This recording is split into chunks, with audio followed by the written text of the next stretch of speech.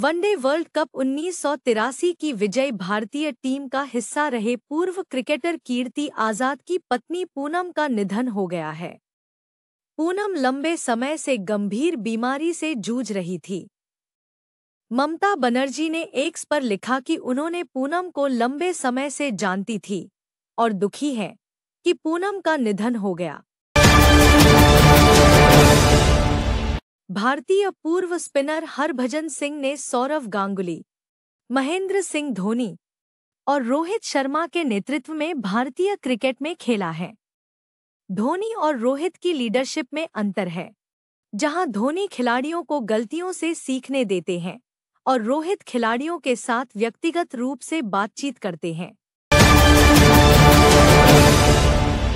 महिला T twenty विश्व cup 2024 का आयोजन यूएई में होगा, जिसमें 3 से 20 अक्टूबर तक कुल 23 मैच खेले जाएँगे।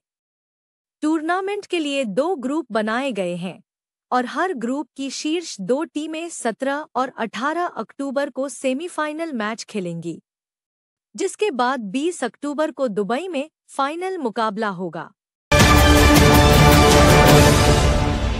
पाकिस्तान के स्टार बल्लेबाज बाबर आज़म की फॉर्म ने प्रशंसकों को निराश किया है।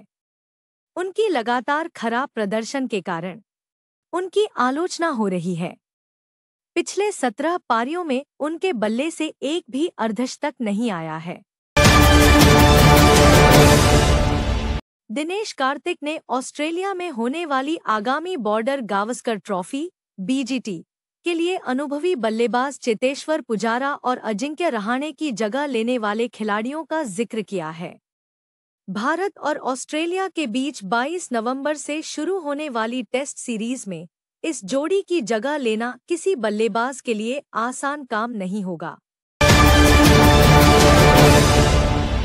भारतीय क्रिकेट टीम के पूर्व स्टार ऑलराउंडर युवराज सिंह के पिता योगराज सिंह ने महेंद्र सिंह धोनी के साथ हुए व्यक्तिगत मामलों के कारण अपनी नाराज़गी ज़ाहिर की है। योगराज ने दावा किया है कि धोनी के कारण उनके बेटे का क्रिकेट करियर समय से पहले समाप्त हो गया है। बीसीसीआई ने इंग्लैंड बनाम श्रीलंका के बीच सीरीज़ का शेड्यूल जारी कर दिया है। जिसमें रोहित शर्मा और विराट कोहली भाग लेंगे। बीसीसीआई ने इंग्लैंड और श्रीलंका के बीच अगस्त में होने वाली पाँच मैचों की सीरीज़ का शेड्यूल जारी किया है। इसमें लंदन और ओवल में मैच खेले जाएँगे। बीसीसीआई ने रोहित शर्मा और विराट कोहली के नेतृत्व में आईपीएल 2025 का शेड्यूल जारी किया। बाबर आज़म और जय शाह की भी टीमें होंगी शामिल। भारतीय टीम के कप्तान रोहित शर्मा ने हाल के वर्षों में बल्लेबाजी की शैली में बदलाव किया है।